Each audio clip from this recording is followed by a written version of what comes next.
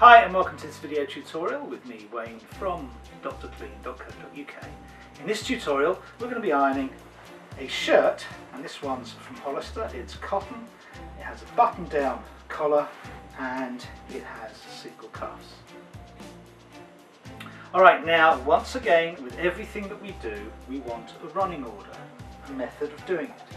And with everything we do, that method stays the same. So every shirt will be exactly the same. And with a shirt, it's from top to bottom. So we start with a collar, we then go to the yoke, we then take a cuff and sleeve, and then, then take another cuff and another sleeve, and then we then do the main body of the shirt. With this particular shirt, it has buttons holding the collar in, and we have to undo those buttons before we start, because we don't want to ever iron a collar with a crease in it. A collar should naturally roll um, as it bends round. It should naturally have a roll in it.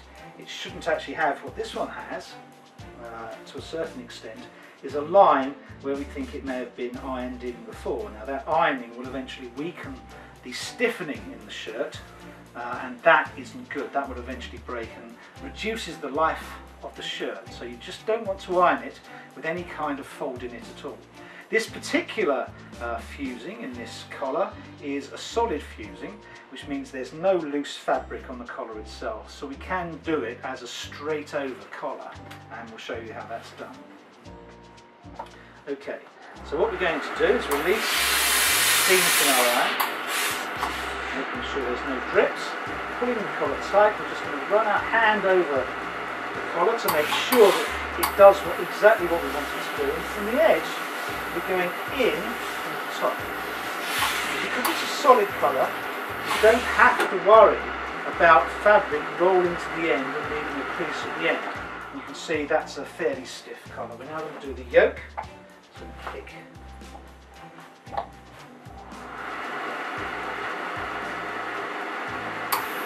pull, pull down to make sure that's straight. And just clip in the top of the uh, dart that's in the top there uh, at, the, at the back.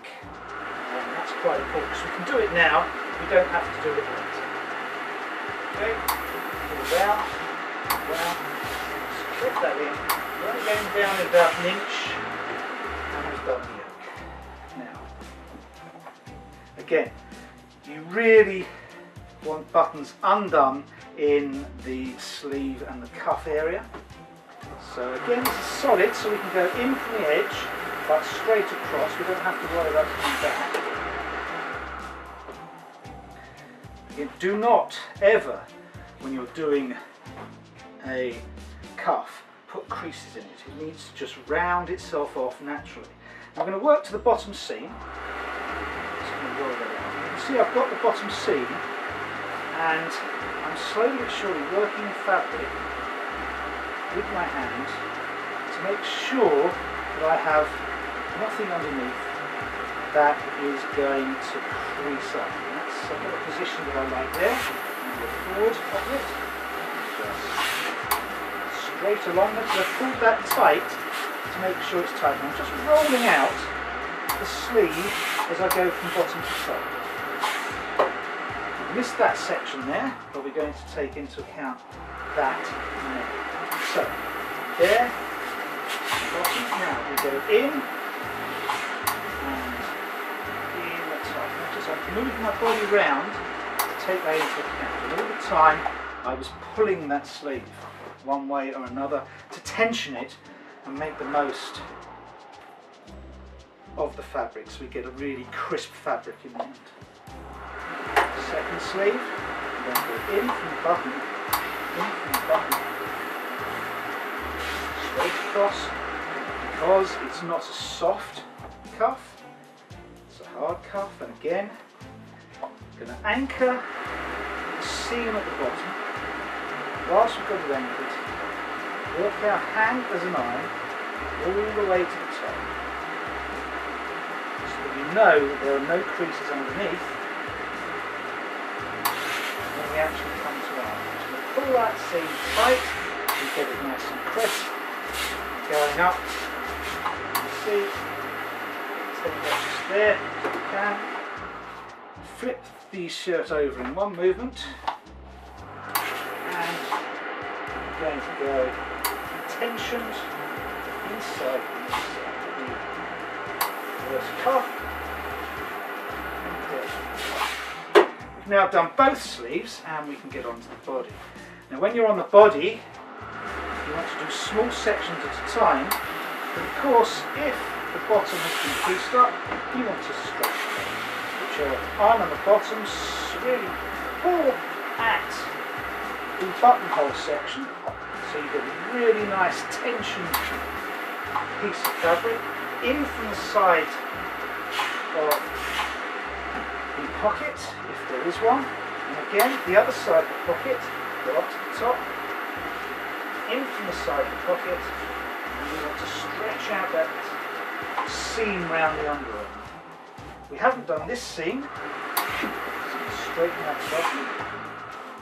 Now this is quite a fitted shirt. Just went over that seam independently. We do very little bits at a time if we, think that that's all we can do. If that's all we can get flat, then we want to do a little bit what's left. Yeah. The back. Again, tension all the time.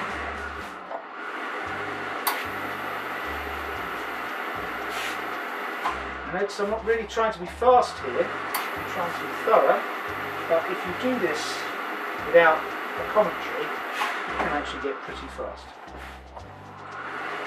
Again, just make the bottom to make sure that's straight, pulling at around the underarm. And when you get to the button section, go in and out of the buttons, making absolutely sure you don't knock them too heavily because you could remove the button. If you're doing it professionally, you then have to put the button back on. Okay, we shall roll over the collar. I would suggest you do up two to three buttons on a shirt to make sure it's all done. There we go. Shirt from Hollister, ironed and nicely on its hanger.